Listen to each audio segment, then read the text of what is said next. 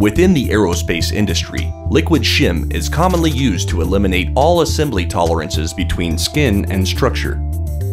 Currently, the liquid shim process for the forward fuselage is a labor-intensive manual task that typically requires 4 to 5 assembly technicians over a 3 to 4 day span. This process yields inconsistent results, requires extensive cleanup, and often multiple alterations to pass final quality inspections.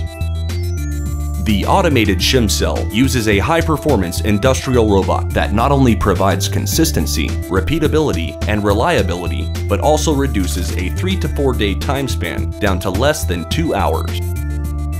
The advanced functionality of the robot is possible through the use of specialized tool changers and multiple end effectors. The automated work cell transforms a tedious and labor-intensive procedure into one seamless operation. Traditionally, the liquid shim is applied using 40 to 50 overpress tools and in excess of 300 C-clamps to set a thickness which is then milled to meet the IML profile of the skin. With the automated shim cell, skin load is accomplished by engaging a flexible vacuum-driven end effector. All components picked up and dropped off with the robot will have individual locating features. Clamps are used to hold down the skin during Cleco fastener insertion. Currently, after completing the surface prep, the technicians apply masking materials to the inside of the forward structure to prevent excess liquid shim materials from stringing inside of the structure itself. The next step is to manually apply liquid shim and float the material to consistent thickness to minimize voids and to help reduce excess shim.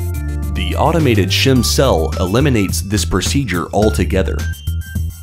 The dispense end effector picks up a vessel with a preloaded mixed Semco tube of liquid shim material. Based on surface area, the number of Semco tubes required can be predicted. Shim tubes are mixed adjacent to the shim cell and are preloaded into the pressure vessel prior to initiating system operations. The Semco tube has a plastic disposable check valve and a standard Semco nozzle on the front.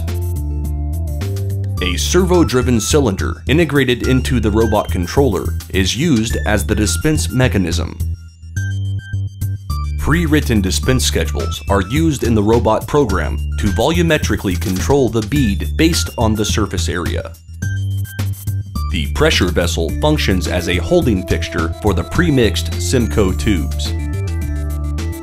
Each vessel contains a vacuum cup to pull the container into position and alignment pins to ensure a proper handshake with the shim dispense end effector is achieved.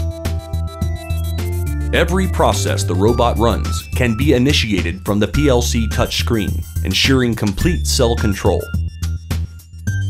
The automated shim cell is a groundbreaking affordable system that will help the manufacturer achieve its plant-wide commitment of one aircraft per day.